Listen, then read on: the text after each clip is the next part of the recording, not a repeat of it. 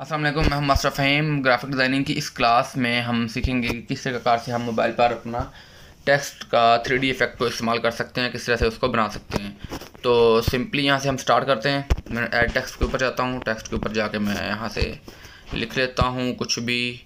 जैसे okay fine मैं यहाँ पर लिख लेता हूँ मास्टर और इसको कर लेता हूँ सेंटर में। सेंटर में कर लेने से पहले इसको मैं साइज़ बढ़ा लेता हूँ और ये आ गया हमारे पास सेंटर में ये। इसका मैं यहाँ से कर लेता हूँ फ़ॉन्ट चेंज फ़ॉन्ट हम इसका कुछ रख लेते हैं, ये लें जी। ओके इसकी स्पेसिंग थोड़ी सी कम कर लेते हैं, ज़्यादा लग रही है मुझे। स्पेसिंग का मैंने लास्ट वीडियो में बताया था कहाँ से कम होनी है। ओके और इसको हमने कर लिया सेंटर लाइन ओके अभी हमने इसको जाना है यहाँ पर थ्री डी इफ़ेक्ट में। थ्री डी इफ़ेक्ट में जाने के बाद हम इसका डेप्थ जो है वो वन पे कर देते हैं और नीचे जो है इसमें रोटिंग लाइटिंग हम उसकी ऑफ़ कर देते हैं और अभी हम इसकी रोटेशन चेक कर लेंगे। रोटेशन हम कर लेते हैं थोड़ी सी ट्वेंटी ये और फोर्टी फाइव ये रख लेते हैं। ओके ओके करेंगे रिफ्लेक्शन पे जाएँगे रिफ्लेक्शन ऑन करेंगे, ठीक करेंगे, इसको ओके पे जाएँगे स्ट्रोक पे जाके स्ट्रोक ऑन करते हैं स्ट्रोक हम इसका रखते हैं वाइट वाइट रखने के बाद इसका हम थ्री पे कर लेते हैं, ठीक है?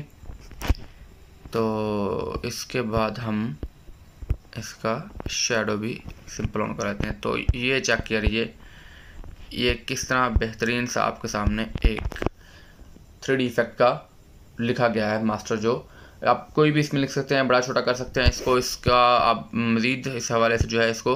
ये आपकी अपनी मर्ज़ी के ऊपर होता है कि आप कितना इसको डेप्थ की कितनी करना चाह रहे हैं बढ़ाना चाह रहे हैं, कम करना चाह रहे हैं, या इसकी जो डार्कनेस है वो कितनी करना चाह रहे हैं। जैसे डार्कनेस में अगर कम करूँगा तो ये मज़ीद शो करेगा ये चेक कर लें, ये इस प्रकार से इसका इफ़ेक्ट चेंज होता रहेगा, ठीक है? और रोटेशन भी इसकी कम सक, हो सकती है बढ़ सकती है। बाकी सारी चीज़ें भी ये सारी चीज़ें आपके अपने अख्तियार में हैं ठीक है? इसको गैलरी का इफ़ेक्ट तक शो होता है कि जिस प्रकार से आप हाल में इसको साइड पे दीवार के ऊपर प्रेजेंट कर सकते हैं अगर आप किसी जगह पे वीडियो को प्रेजेंटेशन तैयार कर रहे हैं या भले दूसरी कोई और प्रेजेंटेशन आपकी ठीक है? जल्दी से मैं दूसरी वीडियो के ऊपर आता हूँ इसको ख़त्म करता हूँ। ये जो दूसरा इफ़ेक्ट है ये बड़ा मज़े का है इसमें हम आपको बताएँगे कि किस तरीक़ाकार से हम थ्री जो हमारा टेक्स्ट होता है, उसके अंदर पिक्चर ऐड कर सकते हैं टेक्सचर जो है। यानी कि हमारी टेक्स्ट के अंदर तस्वीर शो हो। बड़ा मज़े का इफ़ेक्ट होता है। मैं यहाँ पर जाता हूँ इसके पहले टेक्स्ट में स्टाइल में जाता हूँ। ब्राउज में जाके मैं इसका स्टाइल ये सिलेक्ट कर लेता हूँ। ठीक है? और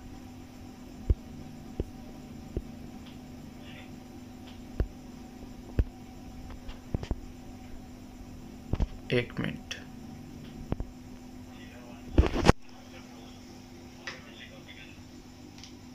Siraman nasi kopi.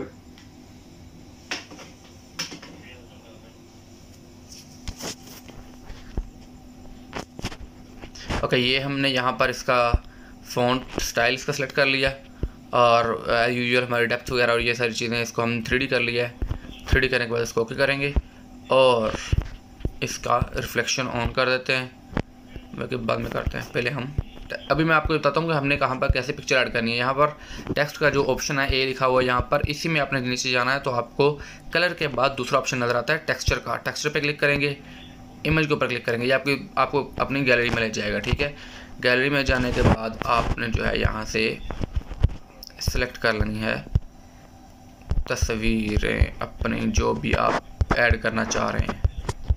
ठीक है? तो मैं इसमें से ढूंढ लेता हूँ कोई पिक्चर जो इसमें ऐड करनी मैंने। ओके फाइन तो ये ले लीजिए, मैंने इसमें एक पिक्चर ऐड कर दी है। अब यहाँ से मैं इसका कम ज़्यादा कर सकता हूँ, कहाँ से एडजस्ट मैंने जहाँ पर भी करनी है। ओके ये पिक्चर ऐड करने के बाद मैं इसका रिफ्लेक्शन भी ऑन कर लेता हूँ। ये चेक कीजिए। अमेजिंग किस्म का एक बेहतरीन सा आपके सामने ये टेक्सचर के साथ कोई भी तस्वीर आप ऐड कर सकते हैं। बड़े मज़े का इफ़ेक्ट बनता है ये और बड़ा अच्छी ये लुक देता है। कोई भी आपकी अपनी तस्वीर हो, किसी और चीज़ की तस्वीर हो, कोई ग्रेडियंट्स हो, कोई कलर ऐसा हो, किसी जगह पे ऊपर जैसे हम यूज़ कर रहे हैं, उसको यूज़ करके आप इस प्रकार से बेहतरीन से कलरफुल से बना सकते हैं। फिर इसी को भी आप जो है वो थ्री में रोटेट करके किसी ओब्लिक या किसी भी रोटेशन में इसको ऐड कर सकते हैं। ये इस तरह से भी ऐड हो सकता है और बाकी भी इसके सिंपली भी आप इसको किसी भी जगह पे ऐड कर सकते हैं। ठीक है?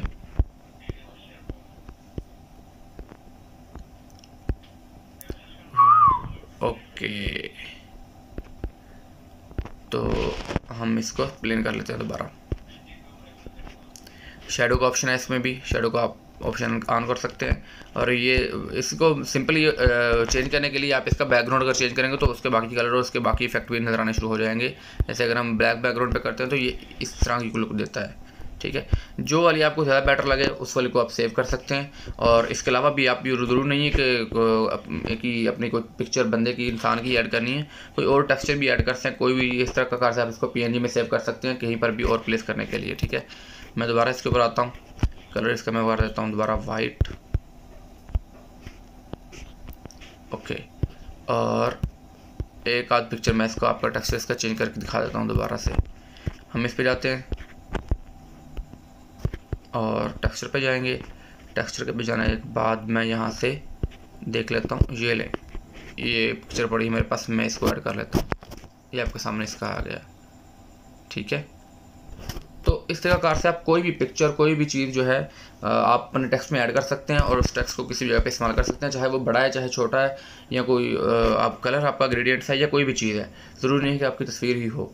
किसी भी पिक्चर को, किसी भी तस्वीर को, किसी भी चीज़ को आप अपने टेक्स्ट का टेक्सचर बना सकते हैं, ठीक है?